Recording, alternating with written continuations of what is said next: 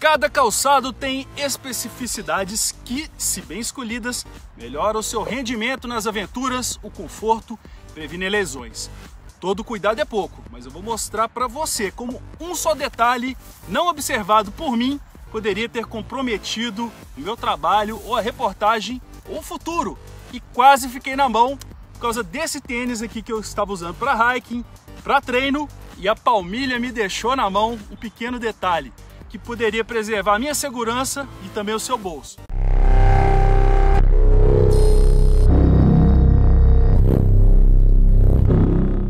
Saudações amigos, Missão Carcará. Há oito meses mais ou menos eu me mudei para um bairro perto aqui dos pés da Serra do Curral em Belo Horizonte e queria aliar as minhas corridas que eu faço para condicionamento físico com a exploração de trilhas aqui na montanha. Nada mais natural que eu adquirir um calçado mais dinâmico do que as minhas botas de trekking, de escalada ou os coturnos, né? ou então destruir meus tênis de corrida urbana. Né? Então eu queria algo que fosse entre, entre esses termos aí. Precisaria ser um híbrido, que se viraria bem tanto no asfalto, nos passeios, com conforto para aguentar o dia de trabalho entre as atividades no mato, mas que aguentasse o tranco das trilhas de pedras soltas, mato, por vezes alto, que pode estar molhado, com poças no chão e até mesmo sob chuva. Não precisaria de enfrentar desgastes longos de pernoite, mas a intensidade de exercícios puxados e curtos que não chegam a um trail run ali, por exemplo, mas que são exigentes. Então eu comprei esses tênis aqui numa loja onde eu estava comprando para o meu filho e para as minhas enteadas há uns três meses. Né? Encontrei vários modelos que poderiam se encaixar nesse perfil de projeto. Foi aí que eu cheguei nesse modelo da marca M-Boots. Os pontos que me inclinaram a comprar esse modelo foram, não foram exatamente só técnicos. Né? Veja bem, primeiro, tem uma bota de trekking dessa marca, a M-Boots, e que já teve comigo em diversas trilhas e aventuras, até no interior de cavernas e grutas selvagens. E a bota, até o momento, se mostrou muito útil sem retoques. Depois, se quiser, eu posso até fazer um review dessa bota que me ajudou muito, tem um preço bacana e que teve um desempenho que eu gostei. Segundo, é uma marca brasileira, eu queria incentivar o mercado nacional. terceiro, é uma visão ainda mais micro disso, né? A marca é do meu estado, região de Nova Serrana, perto da minha família e dali tem muitas coisas boas, né? Como outros tipos de marcas lá em Nova Serrana. E quarto, eu já estava fazendo compra de calçados para a família toda e teria um descontão na aquisição daquele momento. E já daria para o meu projeto começar dali, aliando saúde, bem-estar e trabalho. Então, tudo conspirou para que eu comprasse esse modelo aqui. Alguns pontos técnicos me chamaram a atenção nesse modelo aqui. O primeiro dele é o solado, com uma rigidez interessante, sulcos, que podem dar bastante tração no terreno acidentado e também uma flexibilidade bem legal da entressola que fica entre o cabedal na parte de cima e a sola. Trazia ali uma boa estabilidade, tração, segurança na pisada para evitar ou minorar os riscos de torções de calcanhar ou de outras lesões. Essa parte é a principal, porque o percorrer longas distâncias, o mínimo que o calçado precisa te oferecer é condições de retornar com o máximo de segurança possível. Em segundo lugar, o cabedal, que é essa parte aqui, que é de couro.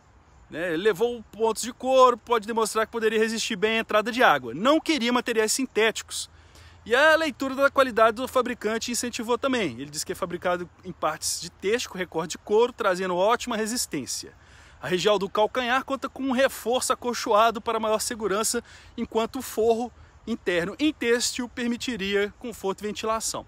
A palmilha em EVA Comfort, sendo anatômica, conformada para melhorar melhor calço, conforto e distribuição do peso corporal. E o solado feito de borracha tratorada.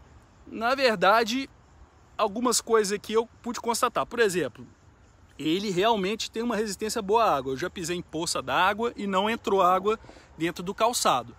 Mas a questão da palmilha é que foi o desastre. Bom, e aí eu parti para os testes com as corridas urbanas de preparo. Em uma delas, eu fui até umas distâncias bem mais razoáveis do que eu tive e acabei com um estiramento do músculo isquiotibial. É, foi de grau 1, né, com a dor muito grande aqui, ó, parte de trás da coxa.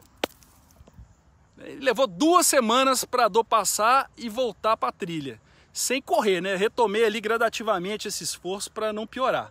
E veja que foi nesse momento, sob esforço moderado entre o asfalto e a trilha, sem correr, que no meio da serra eu senti a palmilha rompendo na altura do calcanhar. Uma das partes mais baratas, que é a palmilha, a qual eu menosprezei a atenção, ficou destruída.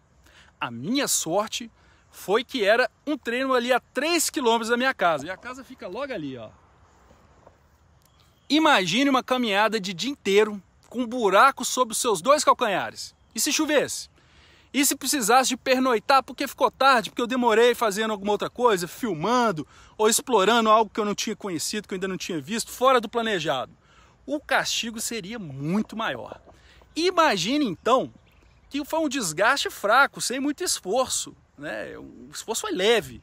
Se a necessidade apertasse, né, eu poderia ali cobrir o buraco com algum material de emergência, como um papelão envolto numa sacola de plástico, um silver tape, até um tecido dobrado, às vezes a própria meia. Agora imagine alguém que não tivesse esse preparo ou um mínimo de ideias para fazer isso, como ia sofrer com esse calçado e seus pés são o que você mais precisa nessa hora. É, pessoal, agora eu vou precisar de palmilhas novas e boas, mas depois eu mostro para vocês e recomendo se eu achar alguma que realmente vale a pena. Fique então aí essa recomendação. Nunca negligencie os detalhes do calçado de aventura. São seus pés que te levam e eles vão ter que te trazer de volta. Eles são essenciais. Se você gostou desse vídeo, não esqueça de nos ajudar dando aí aquele joinha, se inscrevendo, compartilhando aí com os amigos, com quem pode aproveitar essas dicas e se você achar que vale, contribua com Valeu ou com Pix. E a gente se vê na nossa próxima missão aqui no Missão Carcará. Até lá!